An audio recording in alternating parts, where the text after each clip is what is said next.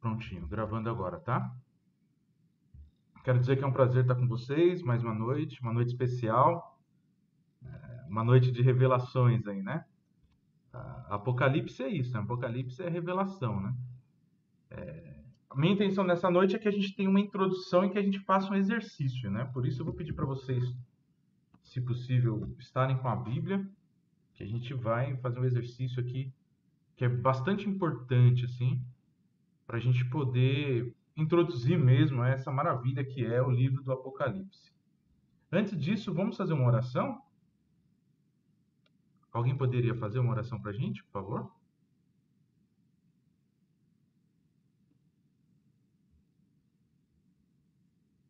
Eu mesmo? Vamos lá. Espera só um pouquinho, gente. Deixa eu só fechar a porta aqui, só um minuto. Tá, agradeço, Fernanda. Olá, Rosa, boa noite, bem-vinda. Oi, boa noite, tudo bem? Estou tentando me entender aqui com, com o celular. Chegou a dona da oração. Tudo melhor agora. Ô, dona Rosa, eu vou quebrar essa hoje, hein? Vamos lá. Eu não sou. Eu te agradecer, hein? Obrigada. Tudo bem, dona Rosa? Não... Tudo bom com você? Não sou assim tão experiente igual a dona Rosa, né? Mas vamos lá, né?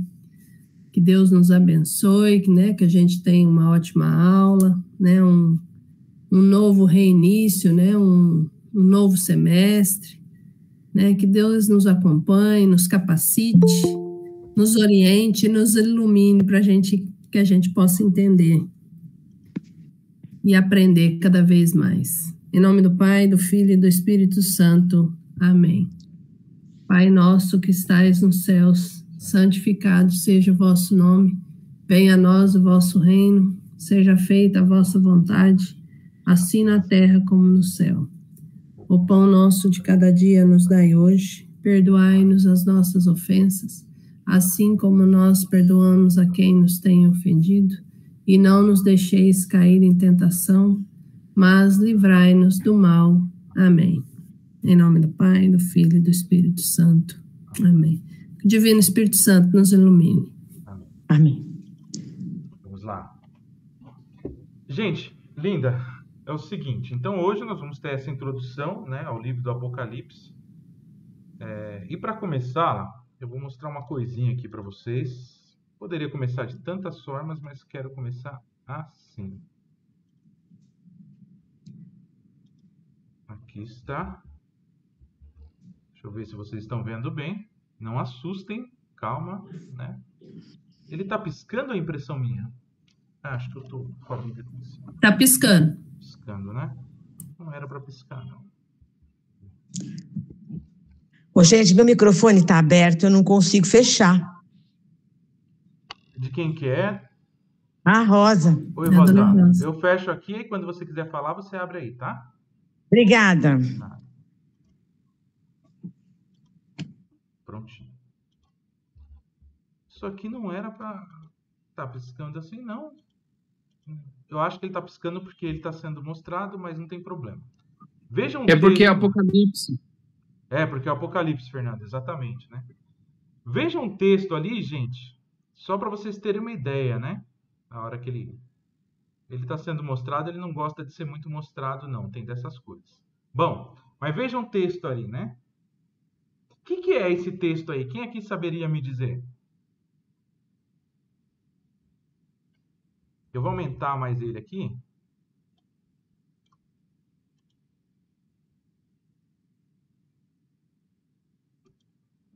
Até se você parar de compartilhar e voltar a compartilhar, ele para de. Para de piscar? Vamos ver?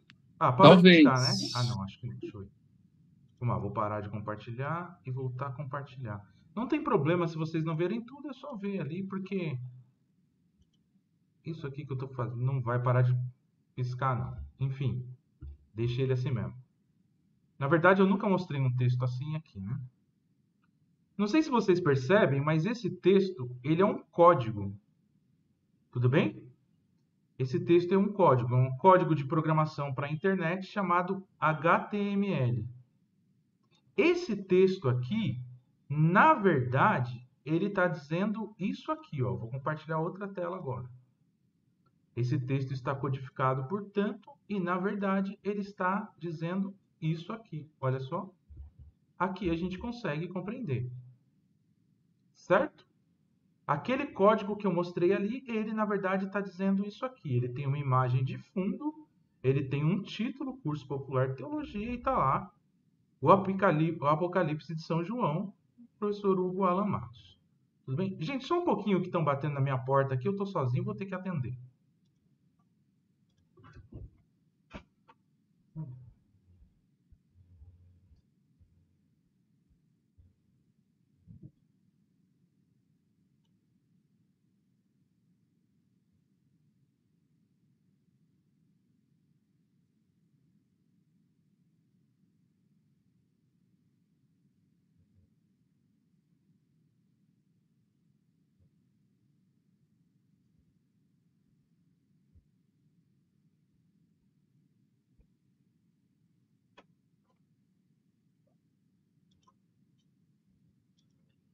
Não era ninguém eu começo a ficar com medo já. Vamos lá. Estou falando que é o Apocalipse. Pois é, pois é, meu cara. Então, aquele código que eu mostrei, né? Codificado, a gente bate o olho nele, que não domina o código, né? Não, não faz ideia do que seja. Né? Talvez possa ler ali no meio do código essas palavras, mas mesmo assim não vai saber o porquê que elas estão ali. Só quem domina que vai olhar para ela vai ver mais ou menos. Ah, tem uma imagem de fundo e está escrito isso aqui, né? Gente, o livro do Apocalipse é a mesmíssima coisa. Não adianta você ir direto no livro e querer ler o livro e entender. Não vai. Entender o sentido aqui do exercício primeiro já? Quer dizer, existe um código no livro do Apocalipse, tem um código que se você não dominar esse código, você não consegue ler o livro do Apocalipse corretamente. Então isso aqui já destrói grande parte das nossas dificuldades para entender o Apocalipse. A gente precisa entender que há um código e a gente precisa desvendar esse código para poder ler o livro, né? Porque senão a gente não entende. Se vocês pegarem na Bíblia de Jerusalém, na introdução, isso está muito claro ali, né? É, uma introdução de três pagininhas, uma, duas pagininhas, na verdade, né, frente e verso só, e depois já o sumário do livro, né? Ali está descrito isso, está dizendo, olha, esse livro é um livro que é codificado, ele tem diversas simbologias porque ele se inscreve na tradição dos apocalipses. Quer dizer que existem outros livros apocalípticos da tradição judaica cristã.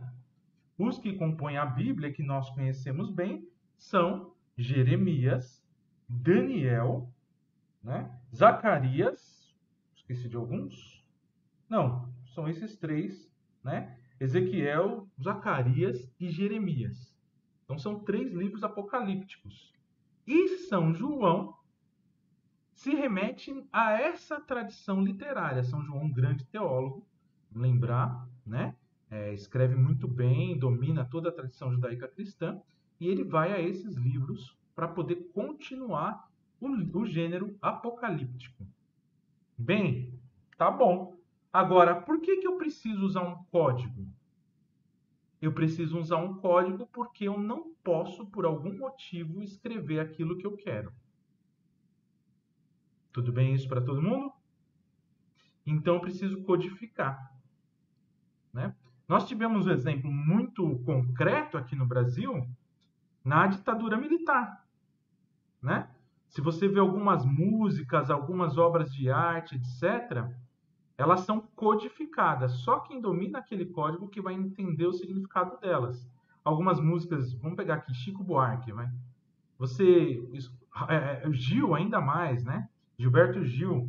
Você pega alguma letra de música, você fala que viagem isso aqui, que que o cara deve ter, né? deve ter usado muita maconha para escrever esse negócio. Não é, porque ela está codificada para passar pela censura. Você precisa dominar aquele código para poder entender o que está escrito. Assim é o livro do Apocalipse. A gente vai ver isso hoje. Então a aula de hoje ela é centrada a esse código. Portanto, não é uma aula muito, diria, gostosa, porque é uma aula técnica, Mas a gente precisa dessa aula para poder depois fazer aula sobre Apocalipse, para poder estudar o que está escrito nesse código. Tudo bem? Então hoje a gente vai poder compreender um pouco deste código e aí eu já vou deixar o material com vocês para que vocês continuem estudando caso queira é, é, se aprofundar. Até aqui, beleza para todo mundo? Podemos continuar? Vamos entrar no código então. Deixa eu fechar essas coisinhas aqui.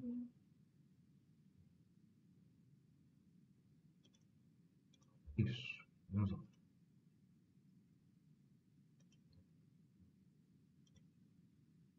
Gente, a qualquer momento, qualquer participação é muito bem-vinda.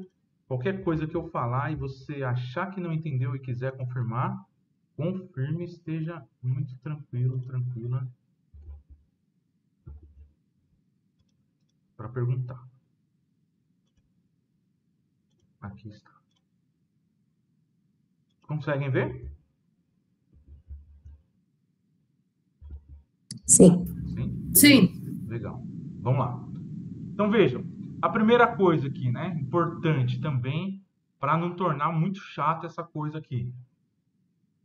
A gente costuma falar do Apocalipse, ver falar, ouvir falar, as obras de arte como essa daqui do Garbor Urban, que retratam o Apocalipse como coisas, eu diria, não só fantasiosas, mas coisas magnânimas, coisas enormes, etc, né?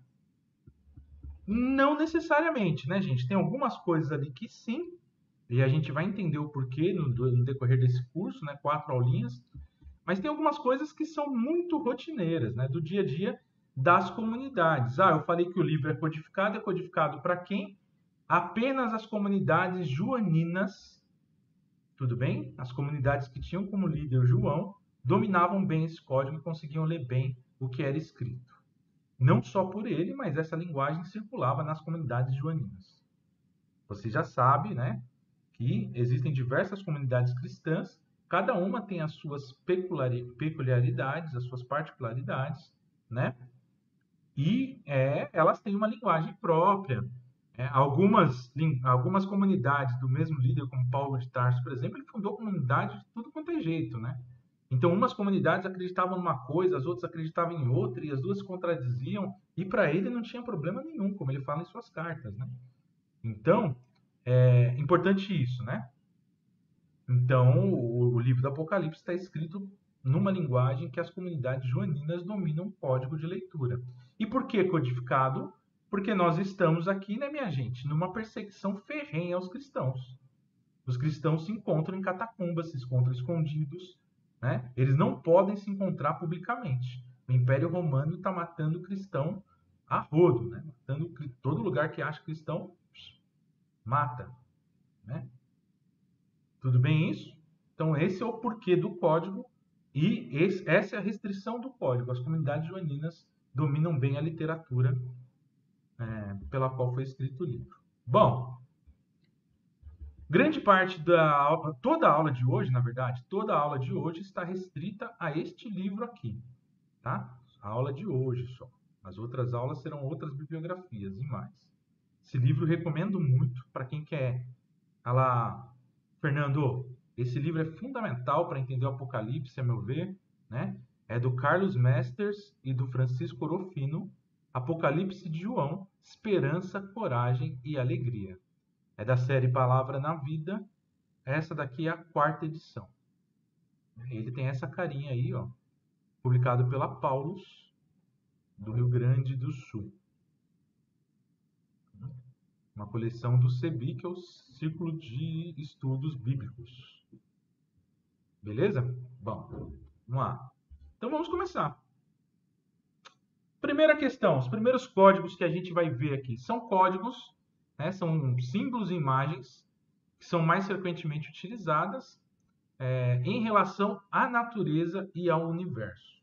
Beleza? Vamos lembrar que as cores são vistas na cultura judaica cristã como algo da natureza. Né? As cores existem na natureza e elas têm significado. Só um exemplo aqui muito importante é que às vezes aparecem é, as cores em relação à cultura egípcia. Então, no Egito, as duas cores que mais aparecem, preto e branco. E para vocês verem que interessante, na cultura egípcia antiga, o preto significa esperança e o branco significa luto. Olha só, é quase que o oposto na cultura judaica cristã, que influenciou muito a nossa cultura ainda hoje, né? Para nós, o branco tem mais a ver com esperança, com algo bom, etc. E o preto, luto, né? Para o Egito antigo, não. O preto tinha a ver com esperança e o branco tinha a ver com luto. Agora, no Apocalipse, que é a cultura semita, que é a cultura de João e das comunidades joaninas, não, né? O branco já é ali sinal de vitória, glória, alegria e pureza. Vamos pegar lá? Eu vou pegar alguns trechos só, tá? Não vou pegar todos os trechos de todos os símbolos, senão a gente ficaria aqui várias noites só nos símbolos, não é essa a intenção. Mas hoje a gente vai exercitar um pouquinho, vai pegar várias vezes, né? Essa coisa do branco eu acho importante aqui, porque ele acaba influenciando a nossa cultura até hoje, esses significados, né? Vamos lá, então, Apocalipse 2, versículo 17. Eu não vou ficar pedindo para vocês ler, lerem, porque eu sei que vocês não gostam muito disso, mas estejam à vontade para me ajudar a qualquer momento, tá? Fala, professor, deixa eu ler um pouco. Nós vamos ler muita coisa aqui hoje, vamos pegar muita coisa. Então, vamos lá. 2, 17. Vejam que aqui está dividido já em Pérgamo, Esmirna, é, Tiatira, são cidades lá. E ali, quando ele vai falar de Pérgamo, fala assim, ó, 17. Quem tem ouvidos, ouça o que o Espírito diz às igrejas. Ao vencedor, darei do maná escondido e lhe darei também uma pedrinha branca uma pedrinha na qual está escrito um nome novo que ninguém conhece, exceto aquele que o recebe. Então aqui a pedrinha branca quer significar tudo isso já: vitória, glória, alegria e pureza, né? Então vejam, eu vou ler de novo, presta atenção. Se a gente ler sem essa noção de que a pedrinha branca significa isso, vitória, glória, etc., a frase fica um tanto quanto misteriosa e até sem sentido. Eu vou ler de novo a frase, olha só. Quem tem ouvidos, ouça o que o Espírito diz às igrejas. Ao vencedor, darei do maná escondido e lhe darei também uma pedrinha branca, uma pedrinha na qual está escrito um nome novo que ninguém conhece, exceto aquele que o recebe.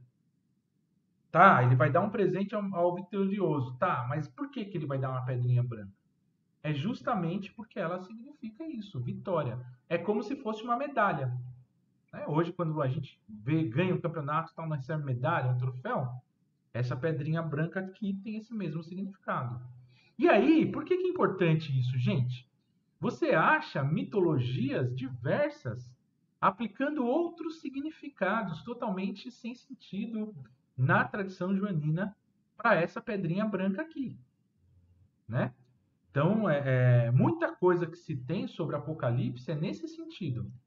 Pegam esses símbolos que não têm é, o sentido explícito aqui, mas que todo mundo que recebe sabe o que é, nas comunidades sabiam e tal, mas aí aplica outro sentido a esses símbolos. E aí vira uma outra coisa. Entenderam o que eu estou falando? Sim? Show. Muito da misterio... Legal, Fê muito da misteriologia, muito da, do misticismo que se cria em torno do Apocalipse é por causa disso. Ó, o vermelho, ó, vamos ver o vermelho? Ó. O vermelho tem significado de sangue, fogo, guerra e perseguição. Apocalipse 6, 4. Vamos lá.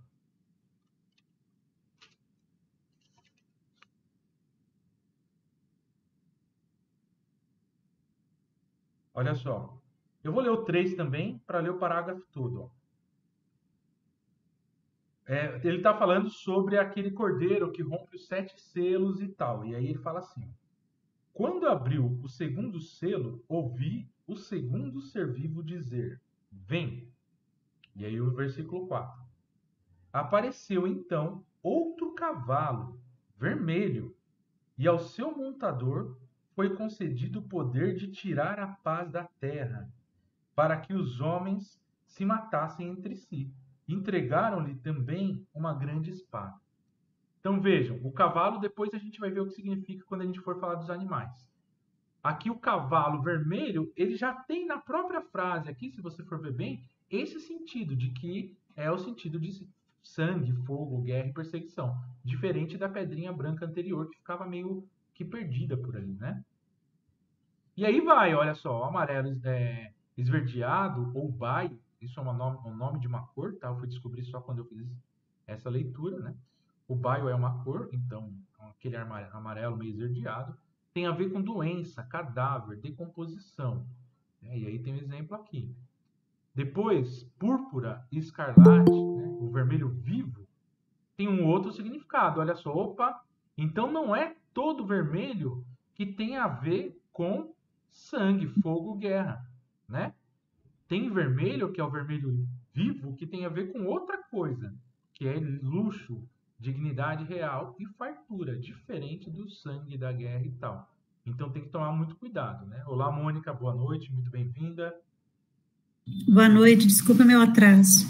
Paz, muito bem-vinda e acolhida. Oi, Fernando. Olá. Então, mas agora só para me entender, essas codificações, elas são uma codificação católica ou, por exemplo, os evangélicos usam essas coisas outras coisas? Isso só serve para nós católicos apostólicos romanos? Muito boa pergunta, Fernando. Essa é uma codificação da comunidade joanina. Então, é anterior ao próprio católico evangélico. Essa é uma codificação que todo cristão deve ler o livro do Apocalipse. Serve para todos, tá? Uma codificação com a qual foi escrito o livro. Se ler com outra codificação, vai ter. Eu já fechei o código aqui, mas vamos supor, eu pego aquele código lá e aí o background é a imagem de fundo. Se eu trocar uma letrinha ali no código, ele simplesmente vai tirar toda a imagem de fundo. É isso que acontece no Apocalipse. Se eu ler aquela pedrinha branca lá, por exemplo, eu vou dar um exemplo aqui, Fernando. Pode ser absurdo, mas não é tão absurdo assim, gente. Se eu disser que essa pedrinha branca é o sinal de Deus ao povo escolhido, que serão apenas 144 mil, ela vai fazer todo sentido no contexto que está escrito pedrinha branca lá, mas não faz sentido algum para o livro do Apocalipse, para a comunidade joanina que escreveu o livro. Entendeu o que eu disse, Fernando? Entendi. Então, vamos dizer, essa seria uma codificação raiz, vai. Existiam outras, mas. É isso. Não palavra, vou falar uma coisa aqui, eu não sei se é essa a palavra. Essa é a codificação certa. Eu não sei se essa é a palavra, né? mas. Eu acho que talvez a palavra mais é, é, é, é mais própria né, para esse contexto é essa é a codificação mais adequada para a leitura do Apocalipse. É isso. Né? Grande parte dos teólogos concordam com toda essa simbologia aqui. Grande parte, a grande parte mesmo. Assim, mas é muito difícil encontrar um teólogo cristão que discorde dessa codificação aqui. Hugo, deixa eu fazer uma pergunta. Oi, Isso seria a mesma coisa que chave de leitura? Uma chave de leitura, sem dúvida. Né? O código é uma chave de leitura. Se eu não domino a chave de leitura, o código, eu não domino a leitura do Apocalipse. Né? Ah, Obrigada. Alguns comentários da Bíblia de Jerusalém, eles são realizados a partir dessa codificação. Né? Então, quando ele vai explicar lá, ah, tal coisa, tal, tal, é muito comum ver o livro de Jeremias e Daniel, tal, tal, que tem o mesmo significado. Ele está nessa codificação aqui. Legal? Eu não sei se você vai chegar nisso, mas isso foi um sonho mesmo? O que, que foi um sonho? O livro foi um sonho que foi relatado, é isso? Isso aí a gente vai ver na segunda aula. Eu vou deixar tá. vocês curiosos aí. Não vou falar hoje, não. Uhum. Mas será que foi um sonho? Será que não? Né? Bom, podemos continuar? Ó, oh, o preto ali, vamos ver o significado do preto, que eu acho interessante também, que está aqui no capítulo 6 mesmo. Ó. Versículo 5, vamos lá. Como está escrito aqui nesse versículo? Quando abriu o terceiro selo, está no mesmo contexto da abertura dos sete selos, então, né? Os sete selos têm um significado, a gente já vai ver o significado dos números.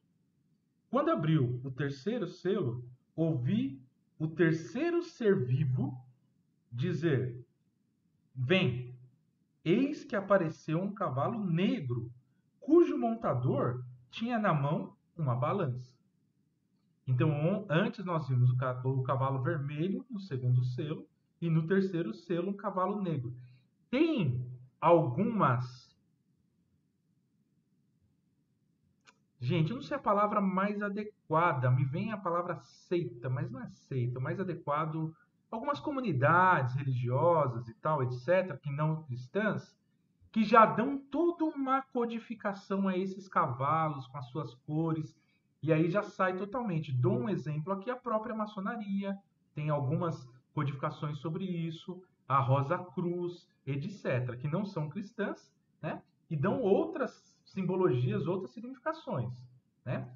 O que a teologia cristã vai dizer sobre isso? Olha, nós temos a nossa codificação, que foi a partir de estudos né, históricos da comunidade joanina e tal, e nós chegamos à nossa codificação.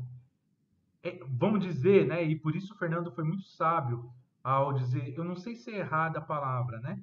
Eu não posso dizer que as outras codificações estão erradas, né? Como o Fernando sabiamente notou. Mas eu digo, olha, para o contexto cristão, para compreender as comunidades joaninas e o que João quis dizer com esse livro, grande parte escrita por ele, né? A codificação mais correta, mais adequada é essa daqui. Né? E aí, então, aqui nesse sentido, o cavalo preto é a fome. É a chegada da fome que João está narrando ali. Eu vou ler de novo. Só deixa eu ter... Tem algumas eu... Bíblias Oi, Fernando, pode falar. Tem algumas Bíblias que ela explica versículo por versículo. Por exemplo, a Bíblia do Pelegrino, né? Então, por exemplo, eu não olhei ainda, tá? Eu tenho, mas eu não olhei ainda. Ele explicaria as cores também? Não, né? Não chega nisso, né? Não, nem mesmo a Bíblia de Jerusalém faz isso, meu caro. Nem as Bíblias teológicas fazem. Nenhuma Bíblia ela vai explicar toda essa codificação. Porque também a descodificação disso ela é permanente, né? Então, hoje, a teologia cristã, o mais próximo que chegou é isso aqui. Mas pode ser que daqui a alguns anos. Gente, vamos lembrar que alguns escritos do povo antigo, do cristianismo primitivo, só foram encontrados muito recentemente, né? Vocês sabem disso, né? Então, vira e mexe, estão encontrando textos cristãos antigos aí. Então, pode ser que hoje mesmo, se nós fôssemos estudar esses textos que não estão na Bíblia, obviamente, porque foram descobertos na década de 1960, né? É, os escritos asiáticos lá. Se hoje nós formos estudá-los, muita coisa da teologia cristã vai ter que ser alterada, né? Estão fazendo isso, só que a teologia ela vai alterando com cuidado, né? E a própria e aí para no nosso caso a Igreja Católica é muito mais cuidadosa ainda com isso, né?